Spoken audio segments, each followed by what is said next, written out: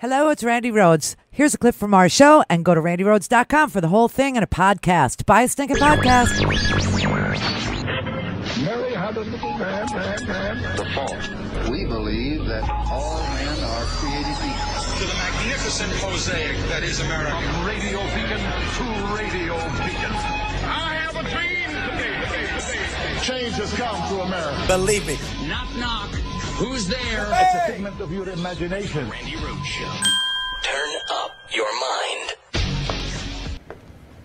We the people. We the people. We the people. We the people of the United States. In order to form a more perfect union. Establish justice. Ensure domestic tranquility. Provide for the common defense. promote the general welfare, And secure the blessings of liberty to ourselves and our posterity. do ordain y establecemos esta constitución for the United States of America. Oh, yeah. Oh, yeah. Oh, yeah. It's a new day, everybody. New day. New day has dawned. I don't know who Dawn is, but I woke up at her crack this morning and I could smell the success already. I could smell the hope. I could feel a vibe of change. I could say to myself, oh my God, oh my God, look at this Congress. It looks much more, much more like America. It looks much more like our towns, like our suburbs, like our communities, like our cities, like our hinterlands. It this is the most female and the most ethnically diverse Congress ever. Ever. Before this, the only place you could find diversity was in the fact that Paul Ryan was Irish and a vampire. I mean, uh, uh, historically, the highest profile person in the House of color was John Boehner, who was also orange. I don't know what that is. I don't know why these men of, uh, you know, now, of course, he uh, shills for the pot industry, you know, trying to find angel investors for, uh, you know, the pot industry. Well, good for you. Back then, you know, he was on the booze all the time. He would drink the wine and cry. I don't know if you remember, John Boehner used to cry all the time, all the time. And the uh, he was he was definitely an orange person, you know. And uh, this was the most diverse thing about Congress was that we had an orange person and that we had an Irishman slash vampire. So uh, here you have the incoming Democrats, uh, 40 new seats, which is the most that the Democrats have picked up since uh, 1974 after Watergate. And the president of the United States keeps telling you there was no blue wave.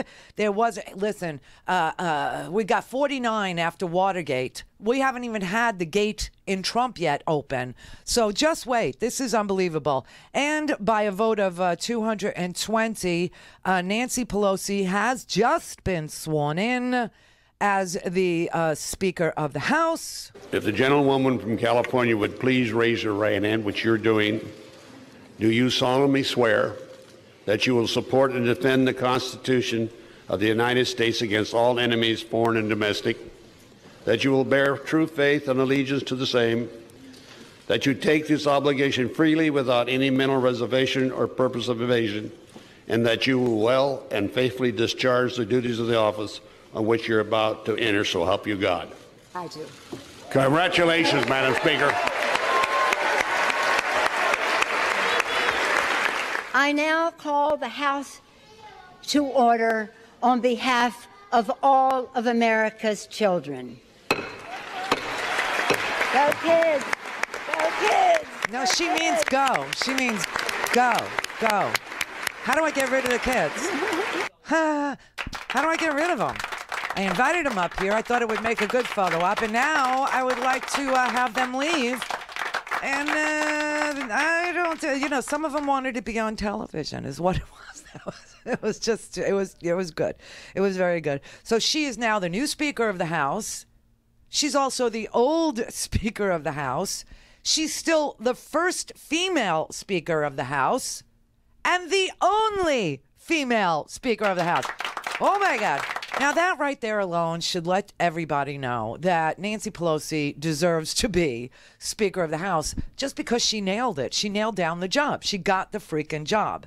So, you know, this might be another year of the woman, but Nancy Pelosi got herself elected back in 1986.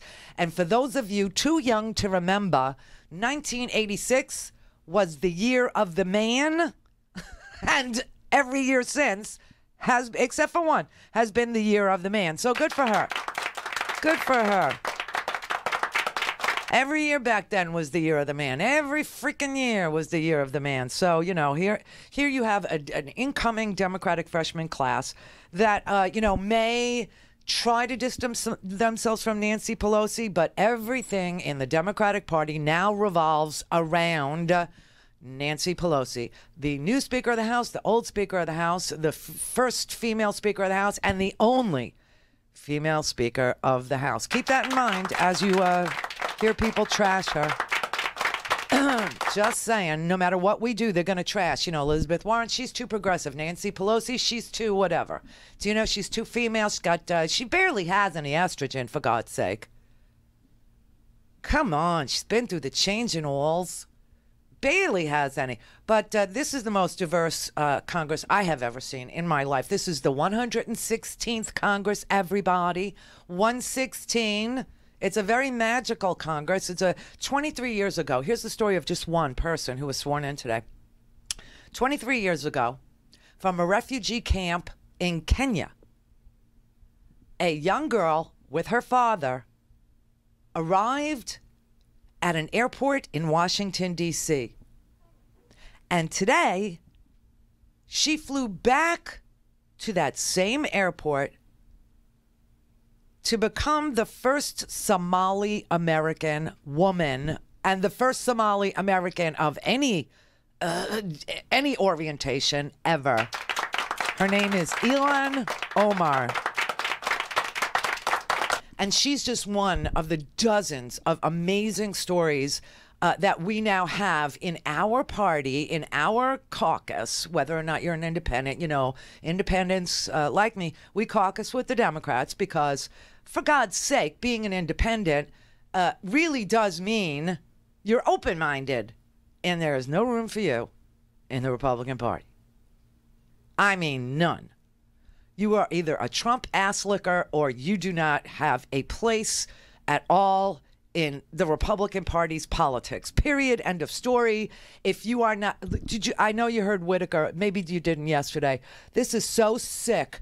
The ass kissing that goes. It's like it's it, it's. He runs this shop of him. And what do we have now? We have nothing but acting. We have nothing but second string, third string. I mean, his whole cabinet. This is like in football. I think they call it garbage time. Okay, when you have second and third string, like this is worse than preseason. You know what I mean? When they, they bring out the third string, the fourth string, oh, trying out his agent is watching. Let's hope he doesn't twist an ankle or break a thing, you know, FEMA, while he's trying to impress, you know, uh, uh, in the draft season. I mean, it's just so, and this is who is running our country. This is who is running. We have actings and we have deputies and we have uh, fly by nights and we have, you know, fourth string and wannabes and Boeing executives running the military. I mean, it's just uh, with no government experience. So Whitaker, his, his uh, uh, you know, oath to the president came yesterday. He had to sit there and swear, you know, an oath to the president, not to the Constitution, to the president, and kiss his ass literally in public about this horrific shutdown that Trump said he was proud, proud to do in the name of border security, right? Sir, Mr. President, I, I will start by highlighting the fact that you stayed in Washington, D.C. over the holidays, giving up Christmas with your family, New Year's with your family, trying to bring an end to this shutdown and security to our southern border. Uh. While members of Congress, some members of Congress went on vacation and ignored the problem. You have demonstrated your dedication to delivering on this critical issue for our country and for the American people, but Congress has to act. They have to fund the wall. It is undeniable that a border wall improves the security of our southern border. A wall would reduce the flow of drugs, gangs like the violent MS 13, and criminals across our border, like you highlighted the brave officer who was a legal immigrant who was murdered by an illegal immigrant in California. Yeah, it turns out that illegal immigrant that uh, committed just one of the 72 million murders that happen every day in this country by gunfire is mentally unstable. He's mentally ill. And as you know, crime in immigrant communities is much lower than the national average. But here was Nancy Pelosi responding uh, to this you didn't stay in Washington bull this morning on the Today Show.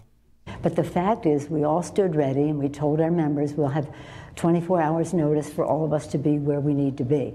And the president may not know this, but Hawaii is part of the United States of America. Maybe he doesn't realize that. That's why I said Barack Obama wasn't born in the United States when he was born in Hawaii. Hawaii has airports and airlines and telephones, so the communication is good. But the very idea uh, that he would suggest such a thing shows the poverty of his thinking. The fact is that our members stood ready, were on alert, in constant communication to open up government. The president is proud of shutting down government. That's the difference between us. Not where we, I don't know where the president observed the religious holiday of Christmas. Do you? Did he observe the, uh, I, I happily saw uh, O Holy Night and Silent Night and the rest being sung in Hawaiian and danced uh, to Hawaiian movements and the rest. It was a beautiful part of American culture. Now, I would pay money to see Nancy Pelosi dance to Hawaiian movements and music. Uh, I think most people would. I do. I think it's a whole new genre of porn. Uh, you know, uh, seriously, just, just you know, I would. But that's just me. I'm pervy. I'm weird. But that was her response. I mean, that that is the truth. You know, the president of the United States has not spoken to Nancy Pelosi or to any Democrat since December 11th, when when he had that stupid dog and pony show in uh, uh, his office, where he said, "Yeah, Chuck, I won't blame you. I, I would be proud to shut that." Remember that? Yeah. So that was the last time he did any negotiation. The art of the deal. Oh my God! And meanwhile, what we got here is not just toilets overflowing in national parks all over the country, trash building up, wildlife eating, uh, you know, uh, uh, E. coli and, and and things. Oh my God! But but eh, but you couldn't have a better metaphor for the Trump presidency, right? Toilets overflowing and trash piling up. It's ugly. It's disgusting, and very quickly it becomes dangerous. This is the perfect metaphor for this administration. And asked why he doesn't just let the government reopen while they debate border security. Trump secretly told Chuck Schumer, I would look foolish if I did that. And Lindsey Graham, not in private, but on the television, actually said out loud that if Trump opens the government without getting his stupid border wall, that is the end of the Trump presidency. That is the end of the GOP. So, everybody, you could have my offer right now, Senator. My answer, my offer is this nothing. And I would appreciate it if you would personally put up the money for the liquor license. Go to randirhodes.com for the whole thing and a podcast. Buy a stinking podcast.